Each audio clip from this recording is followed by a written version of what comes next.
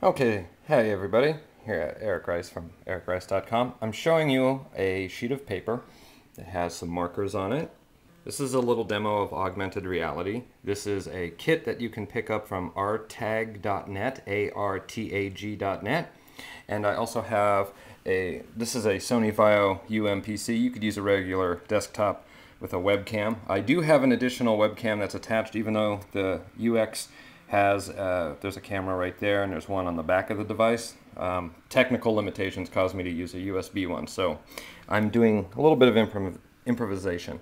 The way this works is that this program that's running on, uh, looks like I'm running Windows Vista here, it's going to translate what it sees on the markers and overlay uh, three 3D objects that are installed. One's a Pac-Man, one's a car, one's a fish. So Watch what happens here. When the camera, you see that? If I move it away, there's nothing there. And yeah, I can go ahead and I'm going to try and do this with, you know, I can turn the paper around. And you can see now, everything's facing the other way. We're looking at the back of the Pac-Man. It's kind of hard to videotape a screen and all of that, but you kind of get the general idea. I'm going to turn it around again.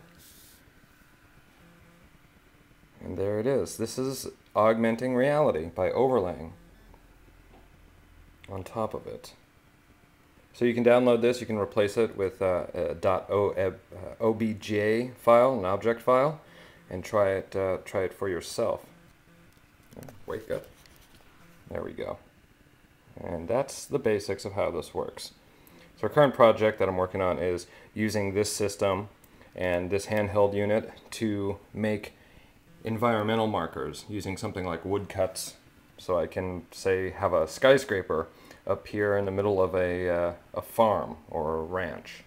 So it's going to take a little bit more work than just uh, shooting a piece of paper, but we'll see how it goes. So there you go, little demo of augmented reality.